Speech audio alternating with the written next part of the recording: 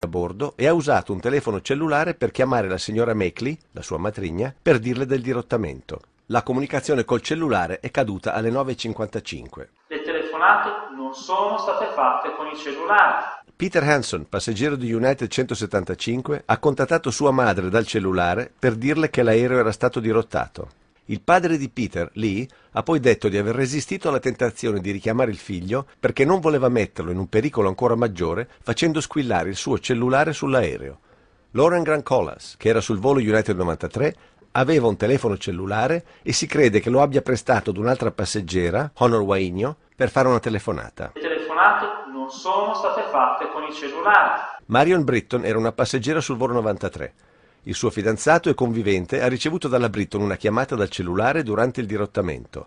Britton ha detto a Fiumano, il suo fidanzato, di essersi fatta prestare il cellulare da un altro passeggero. Le telefonate non sono state fatte con i cellulari. La signora Elsa Strong ha ricevuto una chiamata dal cellulare da sua sorella, Linda Gronlund, che si trovava sul volo United 93.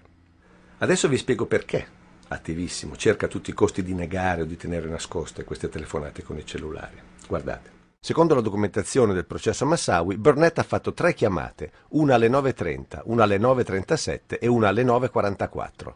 Come abbiamo già visto, almeno due di queste telefonate, se non tutte e tre, sono state fatte da Burnett col suo cellulare. Secondo i dati ufficiali dell'NTSB, alle 9.30 l'aereo era in salita verso i 10.000 metri. Alle 9.37 era intorno agli 11.000 metri e continuava a salire. Alle 9.44 era a circa 6.700 metri di quota. Nessuna di queste telefonate può essere stata fatta con un cellulare dall'aereo in volo. Jeremy Glick ha chiamato la signora Makeley alle 9.37, il che significa che la comunicazione è durata circa 18 minuti. Durante l'intero periodo l'aereo è rimasto sempre al di sopra di una quota che permettesse una qualunque chiamata con un cellulare. Peter Hanson ha chiamato i genitori due volte, alle 8.52 e alle 9. Alle 9 l'aereo si trovava a oltre 5.000 metri di quota. Alle 8.52 si trovava ad oltre 10.000 metri e stava salendo.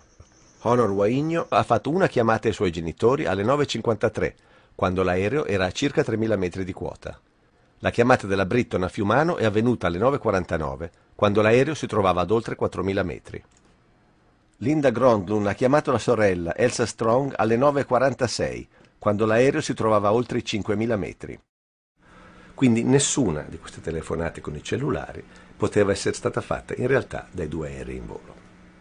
Quindi Paolo Attivissimo, prima di fare la predica agli altri che non fanno le loro ricerche a fondo, forse farebbe meglio spiegare al suo pubblico perché lui non ha mai parlato di questi documenti, che sicuramente conosce anche perché sono tutti liberamente scaricabili da internet. Riassumendo, secondo Paolo Attivissimo, l'11 settembre è andata così. La buca di Shanksville è larga una cinquantina di metri ed è profonda 15 quindi lì dentro volendo ci stanno tre Boeing, non uno, se li smonti bene ci stanno tutti e tre. E se per caso ti provi ad obiettare quello che dico, tu sei uno che offende i morti, questo non dimenticarlo mai. I piloti che imparano a guidare gli aerei li guidano come dei camion e quindi volano raso terra. L'edificio 7 è venuto giù all'indietro come un velo. La difesa aerea erano tutti lì come dei cucù a guardare fuori mentre gli altri gli mangiavano il ventre molle da dentro.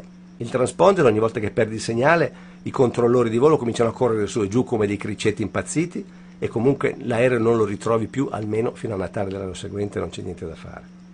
Le telefonate dagli aerei non sono state fatte con i cellulari, le hanno fatte con gli earphone, questa l'abbiamo capita.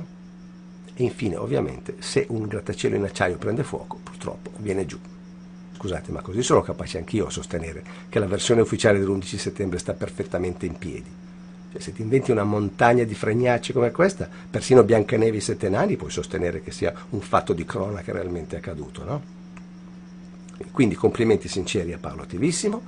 Se continua così, si guadagnerà sicuramente un posto in paradiso seduto alla destra di Piero Angela per il resto dell'eternità.